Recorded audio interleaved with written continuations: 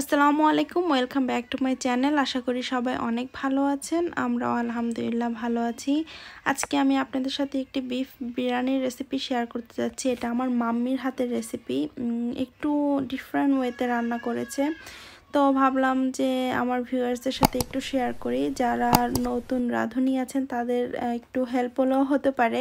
কারণ অনেকে বিরিয়ানি রান্না করতে পারে না। আবার অনেকে কম বেশি মানুষ সবাই পারে, কিন্তু যারা নিউ রাঁধুনি, তাদের কাজে আসতে পারে। তো ভাবলাম যে আমার ভিউয়ার্সদের সাথে শেয়ার করি। এটা দুপুরে লাঞ্চের জন্য রান্না করছে। তো সবার কাছে আমার একটাই রিকোয়েস্ট যারা আমার চ্যানেলটিকে এখনও সাবস্ক্রাইব করেননি প্লিজ আমার চ্যানেলটিকে সাবস্ক্রাইব করবেন আর পাশে থাকা ছোট্ট বেল আইকনটি ক্লিক করে দিবেন। এখানে মাম্মি হচ্ছে পোলাও চাউলগুলোকে ভালোভাবে ধুয়ে পানি ঝরতে রেখে দিয়েছে। পানি ঝরিয়ে নিবে তাহলে চাউলগুলো ঝরঝরা থাকে। পোলাও, চাউলটা আসলে আগের থেকে ধুয়ে যদি পানি ঝরিয়ে রাখেন তাহলে চাউলটা, বিরিয়ানিটা ঝরঝরা হয় আর একটু বড় বড় হয় চাউলগুলো লম্বা লম্বা। এখানে মাম্মি সব ধরনের মশলা দিয়ে মশলাগুলো কষিয়ে নিচ্ছে। আমি আর মশলাগুলো ভিডিও করিনি। এখানে তেল তারপরে পেঁয়াজ আদা বাটা রসুন বাটা এলাচি দারচিনি তেজপাতা মানে যে ধরনের মশলা লাগে মাংস রান্না করতে সেগুলোই দিয়েছে। এক্সট্রা কিছু কিছু দেওয়া হয়নি। তো এই মশলাগুলোকে এখন ভালোভাবে কষিয়ে নিবে। এটাতে পোলাও চাল ভাজা হবে। আর এখানে আলাদাভাবে বিফটাকে রান্না করে নিচ্ছে। বিফটাকে আর ওই পোলাও চালে দিবে না, এটাকে আলাদাভাবে রান্না করে নিচ্ছে সব ধরনের মশলা দিয়ে এলাচি, দারচিনি, সব ধরনের যেগুলো মাংস রান্না করতে লাগে সব কিছু দিয়েছে এখানে। দেখতে পাচ্ছেন কালারটা, টক দয়ে দিয়েছে এখানে। কালারটা একটু হোয়াইটিশ হোয়াইটিশ লাগছে। আর এখানে আমি যে এই পেঁয়াজটা ভাজা দেখিয়েছিলাম, যেটাকে কষিয়ে নিচ্ছিল, সেখানে পোলাও চাউলগুলো দিয়ে দিয়েছে। এই পোলাও চাউলটাকে খুব ভালো করে ভেজে নিবে। যাতে এটা ঝরঝরা হয়। আপনি পোলাও, চাউল যত ভাজবেন, আপনার বিরিয়ানিটা তত বেশি মজা হবে। এটাকে অনেক ভালো করে কষিয়ে নিবে, এখন ভেজে নিবে।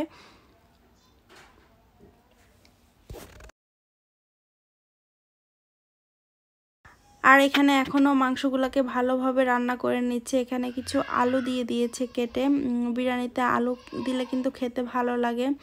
বিরিয়ানি মাংস একটু সফট হলে আরও বেশি ভালো লাগে। তো এটাকে একটু নরম করে নিবে মানে ভালোভাবে কুক করে নিবে। এখনও কুক করছে।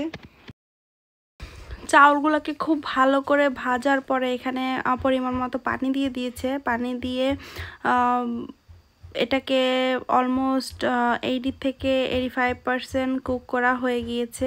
বাকিটা যখন মাংস দিবে তখন রান্না হবে।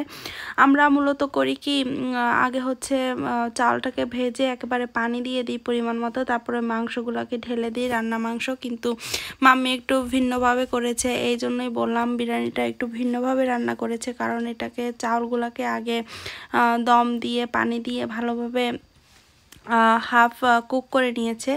তারপরে এখানে কিছু বিরিয়ানির মশলা দিয়ে দিয়েছে, এক প্যাকেট বিরিয়ানি মশলা দিয়েছে এখানে। বিরিয়ানি মশলা দিয়ে চাউলগুলোকে খুব ভালোভাবে নেড়ে দিচ্ছে মিক্স করে দিচ্ছে। আমি ভয়েস ওভার দেওয়ার সময় আমার বেবিটা চলে এসেছিল, একটু ডিস্টার্ব করছে। আপনারা কিছু মনে করবেন না, ও ছোটো বেবি তো যখন তখন চলে আসে ভয়েস ওভার দেওয়ার সময়। তো প্লিজ কিছু মনে করবেন না আপনারা।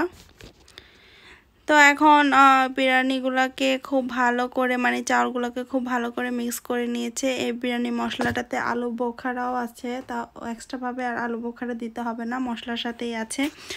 আমি এই বিরিয়ানি মশলাটা ইউজ করেছি, শান।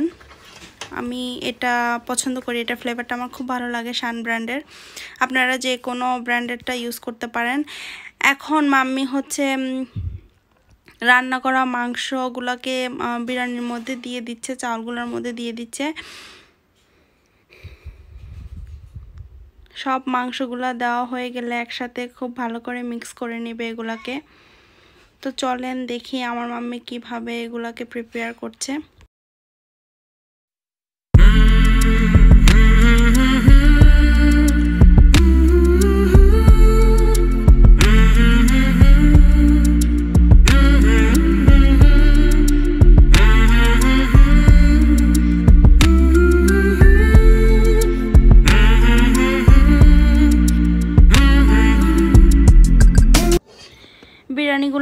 ভালো করে মাংসের সাথে মিক্স করে নেওয়ার পরে এখানে জাফরান ওয়াটার নিয়েছে। এটা বিরিয়ানিতে দিবে। বিরিয়ানিতে জাফরান দিলে কিন্তু খুব সুন্দর একটা ফ্লেভার আসে, খুব সুন্দর একটা স্মেল আসে। আমরা সব সময় ইউজ করি। আর এখানে কেওড়া ওয়াটার দিয়ে দিয়েছে। কেওড়া ওয়াটারটাও খুব সুন্দর একটা ফ্লেভার দেয় বিরিয়ানিতে।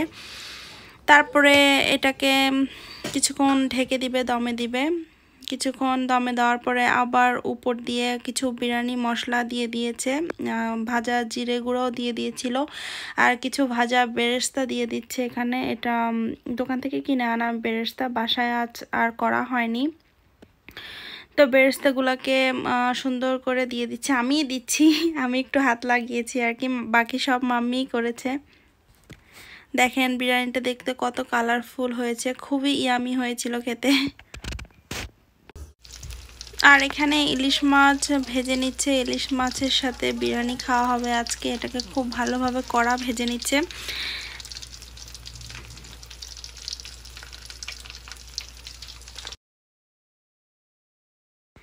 বিরিয়ানিটা রান্না করা শেষ। এখন সার্ভিং ডিশে তুলে নিচ্ছে। সবাই খাবে লাঞ্চ টাইম হয়ে গিয়েছে। এর জন্য মাম্মি এখন বেড়ে নিচ্ছে সার্ভিং ডিশে আর বাকিটা পাতিলাতেই থাকবে। দেখেন কত সুন্দর হয়েছে। বিরিয়ানিটা পারফেক্ট চাউলগুলাও ঠিকমতো নরমও না, শক্তও না, একেবারে পারফেক্ট হয়েছে।